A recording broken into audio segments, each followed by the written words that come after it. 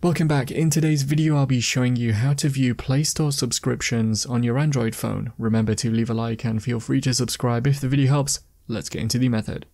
To check subscriptions, open the Play Store and then tap on your profile icon in the top right.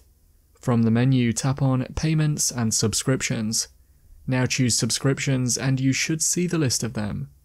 You can tap on one to manage or cancel it, and remember that some subscriptions will be from your Google account, so not necessarily from the Play Store. That's how to view Play Store subscriptions on your Android phone.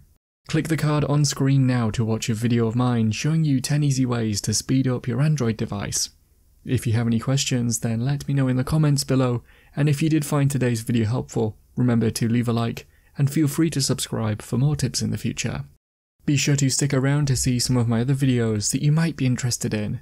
Thanks so much for watching, and I will see you in another video.